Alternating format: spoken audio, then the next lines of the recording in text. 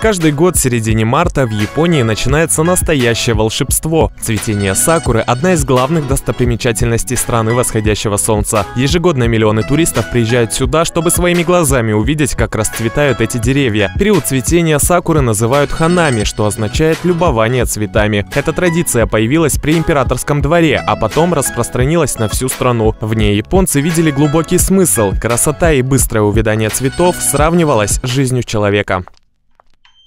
Сеть покорил новый флешмоб под названием «Треугольный танец». Пользователи со всего мира объединяются в тройки и пытаются повторить простые, на первый взгляд, движения.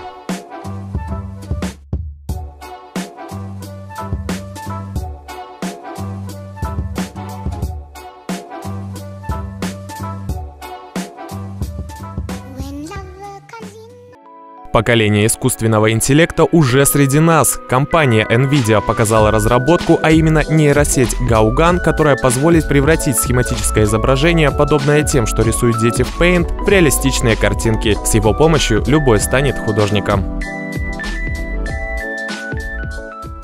Камеры японских и американских спутников зафиксировали момент взрыва метеорита над Камчаткой. Это произошло еще в декабре 2018 года, однако видео стало доступно только на днях. Подобные события, по оценке астрономов, происходят 2-3 раза за столетие. Как заявили в НАСА, мощность взрыва космического тела составила 40% от мощности взрыва Челябинского метеорита в 2013 году. Она достигала 173 килотонн в тротиловом эквиваленте. Ученые подсчитали, что во время взрыва образовалось в 10 раз больше энергии, чем после детонации атомной бомбы, которая уничтожила Хиросиму в 1945 году.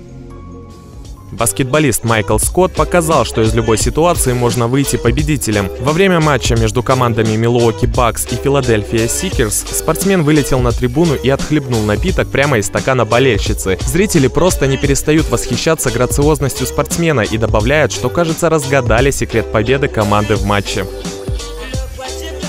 Напоминаем, вы также можете стать автором рубрики. У вас есть фото и видеоматериалы, которыми вы хотите поделиться или хотите, чтобы об этом говорили, присылайте их нам на WhatsApp. Самое интересное вы увидите в эфире восьмого канала. Дмитрий Беломеснов, новости на восьмом.